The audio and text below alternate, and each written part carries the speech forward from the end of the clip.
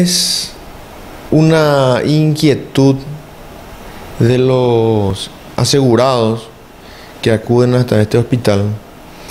Eh, el hecho de que muchas veces no se respetan los derechos de las personas vulnerables, ¿verdad? En este sentido, las personas adultas, los de 65 años y más, las mujeres embarazadas, las personas que tienen niños en brazos y las personas con discapacidad, ¿verdad?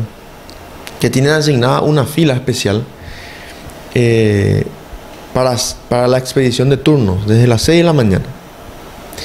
Y eh, eso se contempla dentro de la eh, atención preferencial de estos grupos de, de, personas para evitar la demora, evitar lo, que esperen durante mucho tiempo en las colas.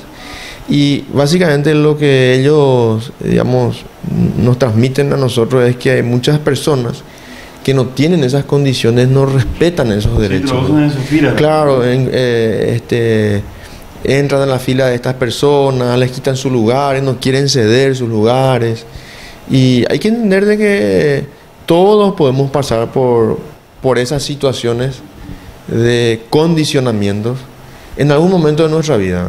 Entonces, eh, es importante que introduzcamos eso en, nuestro, en nuestra vida, en nuestro quehacer.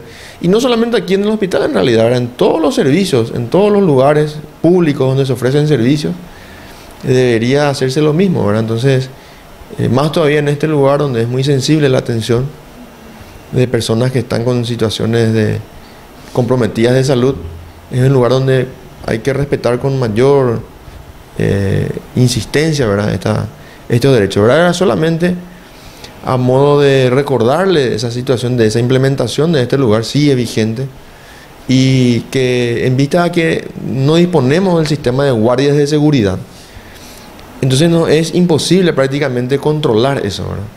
Y de esa manera ahora apelamos a los asegurados para que ellos conscientemente puedan darle el lugar que se merecen a estas personas vulnerables. ¿verdad? ¿Y en qué cantidad de repente, doctor, eh, estas personas asisten aquí? ¿Se ven una cantidad importante? Nosotros tenemos eh, cerca de 15.000 consultas por mes. Hay algunos días en que hay 500 personas en, la, en el hospital para consultas y de eso un 20 a 25% aproximadamente eh, se encuentran en esos grupos, ¿verdad? Estamos hablando de que es el hospital de referencia donde acuden todos los jubilados eh, dentro del sistema de IPS. Eh, entonces es un número importante de pacientes, ¿verdad?